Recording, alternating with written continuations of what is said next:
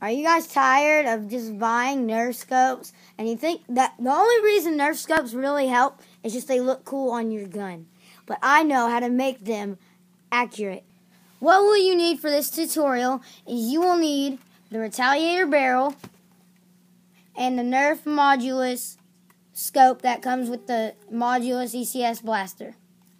Okay, I've got my Retaliator here and the reason why the Retaliator barrel is the best, I think, for this mod or kind of like tip thing is the flip up iron sight. And that I'll show you why that is. So if you take your Modulus scope and you hang on slide that on. I'll try to show you guys. Hang on this if you can see the scope. I don't know if it's better that way but just look at the scope.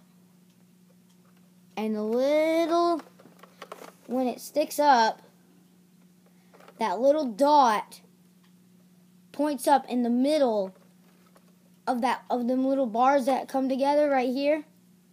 Right in the middle of it is where that it perfectly syncs up. So you know that this is your barrel, so your barrel is where your dart's going to come out. So you know if that's your iron sight, as if you have the modulus that has the little roof on it. Your thing's like if you're gonna headshot an enemy, you got your scope on it. That doesn't mean you're gonna hit it because your barrel is below your scope.